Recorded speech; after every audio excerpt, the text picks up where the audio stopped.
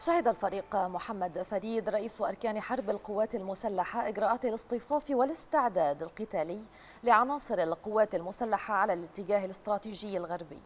وقال المتحدث العسكري أن ذلك يأتي في إطار خطة القيادة العامة لمتابعة التدابير والإجراءات المشددة لحماية حدود الدولة وأمنها القومي على كافة الاتجاهات الاستراتيجية برا وبحرا وجوا بالتعاون بين كافة الأفرع الرئيسة والتشكيلات التعبوية للقوات المسلحة.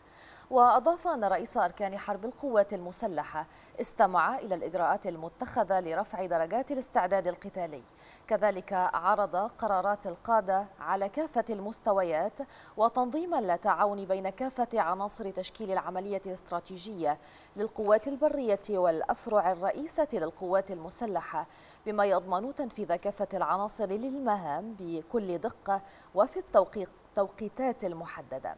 كما ناقش عددا من القادة والضباط في أسلوب تنفيذ المهام المخططة وكيفية مجابهة التغيرات الحادة والسريعة أثناء سير أعمال القتال. هذا ونقل الفريق محمد فريد تحيات وتقدير الرئيس عبد الفتاح السيسي القائد الأعلى للقوات المسلحة. والفريق أول محمد زكي القائد العام للقوات المسلحة وزير الدفاع والإنتاج الحربي لرجال القوات المسلحة.